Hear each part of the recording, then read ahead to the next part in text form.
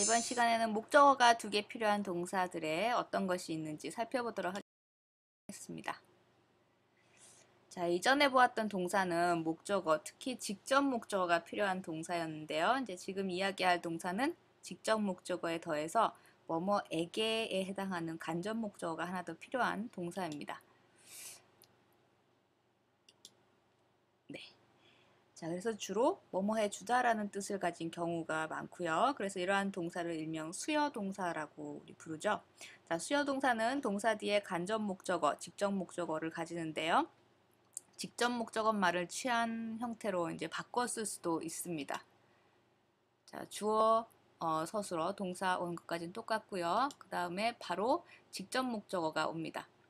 자, 그런데 그 다음에 간접 목적어가 바로 오지를 못하고요. 네, 간접 목적어 부분이 전치사 플러스 간접 목적, 간접 목적어 부분 이렇게 옵니다. 그래서 전치사 쓰이는 전치사는 동사에 따라서 for가 올 수도 있고요. to가 올 수도 있고 of가 올 수도, 올 수도 있습니다. 자, 그럼 예문을 한번 볼게요. I made my son cookies. 나는 만들어 주었다. 무엇을 누구에게? 자, 내 아들에게. 그렇죠? my son. 그다음 무엇을? 쿠키를. cookies. 그래서 어, my son은 간접 목적어고요. cookies는 직접 목적어죠. 자, 직접 목적어만을 취하는 형태로 한번 바꿔볼게요. 이 문장을요. 자, 그러면 I made 그 다음에 내가 무엇을 만들었는지 직접 목적어 나, 나오죠. cookies 그렇죠. 그 다음에 누굴 위해서 만들었는지 누구 누구에게 만들어 주었는지 하는 부분 이럴 때 일반적으로 전치사 for를 씁니다. for my son 이렇게요. 다음 내용 볼게요. She taught us the song. 그녀는 우리에게 그 노래를 가르쳐 주었다. 이 문장도 한번 어, 바꿔볼게요. She taught 그 다음에 직접 목적어 the song 왔죠. 그 다음에 누구에게 가르쳤냐 이럴 이 경우는 teach 같은 경우에는 전치사 to를 씁니다. to us 이렇게요.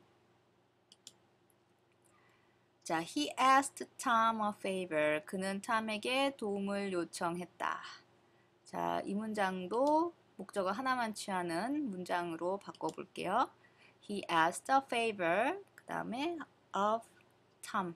ask는 전치사 of를 씁니다. 자, 한 가지 참고로요. I gave him it. 자, 이 문장이요. 음, 보면 간접 목적어도 대명사고 직접 목적어도 대명사로 되어 있네요. 자, 직접 목적어가 대명사인 경우에는요. 이렇게 직접 목적어 어, 간접 목적어 플러스 직접 목적어 이런 식으로 안 쓰고요. 바꿔서 써줍니다. 목적어 한 가지만 가진 형태로요. I gave it to him 이렇게요. 자, 이런 거 기억해 두시고요. 그럼 어떤 동사들에 따라서 사용하는 전치사가 이제 to가 되고 for가 되고 of가 되는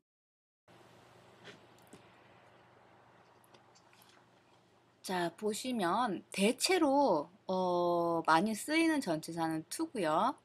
그래서 예외적으로 쓰이는 게 for하고 of가 좀 적은 숫자의 동사들이 포함됩니다. 그래서 어, for하고 of 같은 경우를 기억해 두시고 나머지는 to를 쓰시면 되겠어요. 자, to를 쓰는 경우 볼까요? give, teach, write, sell, bring, pay, send, pass, show, read, tell 이런 것들이고요. for는 get, buy, cook, make, live. 그다음 of는 주로 뭐 요청하다 뭐 이런 류의 어, 의미를 가진 동사들입니다. ask가 대표적이고요. demand, inquire, beg 이렇게요.